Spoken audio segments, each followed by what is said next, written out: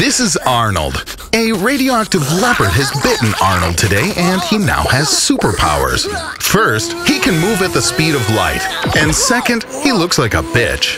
Let's give your abilities a try. Run, Arnold, but not for long. Your body will instantly heat up and burn away from friction with the air molecules.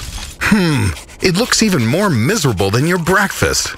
But suppose you have a suit that will protect you against the high temperatures. Moving at the speed of light, you can circle the Earth at the equator seven times per second.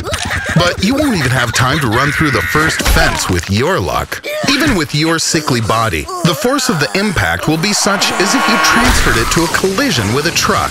Even more, the only place where you can run at the speed of light without obstacles is open space. But you will find problems even here. At that speed, even a hydrogen molecule will be like a bullet for you. And even without reaching the speed of light, you will die from radiation. So better let's repeat this thing again with the trucks. Put your finger up if you like this video, send it to your friends, and subscribe to my channel. There are many more exciting experiments coming with our friend Arnold.